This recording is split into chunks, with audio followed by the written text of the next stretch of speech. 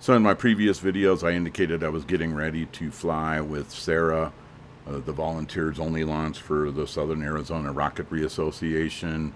There was a lot of weeds that needed to be clearing. It's good to uh, be a part of the club. Ready to go in five, four, three, two, one, launch.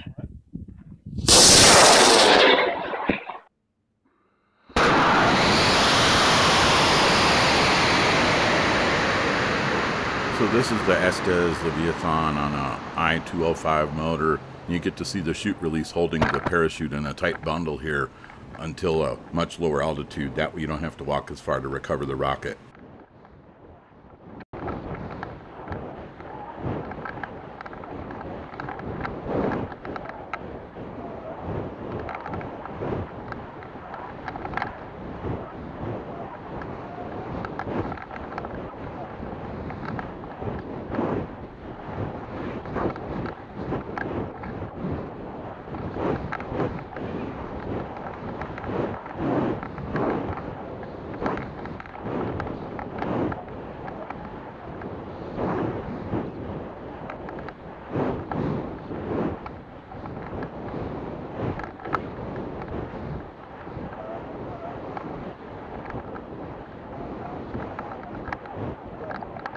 At this point, the rocket is at 400 feet and the chute release allows the parachute to open up and you can see things settle in for a smooth recovery.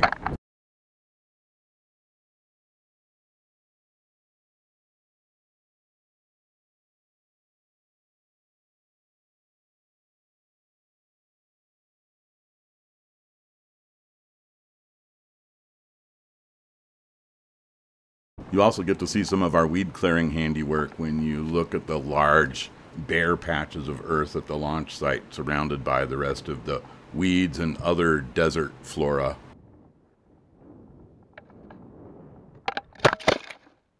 So let's look at some stills. This is the TIMPA Tucson International Model Park, our neighbors. That's the chute release bundle. It's a view to the south of our launch site looking out to the west, looking out to the north. Here's the Tucson Mountains to the east of us. Here you see chute release has done its thing. It let the chute open up. Here's a nice 36 inch nylon parachute slowing things down. Ah, there's the booster getting a nice candid photo. And the booster photo bombs the SARA family photo. So I just want to thank you all for watching and say thanks to Southern Arizona Rocketry Association for allowing me to have a good time.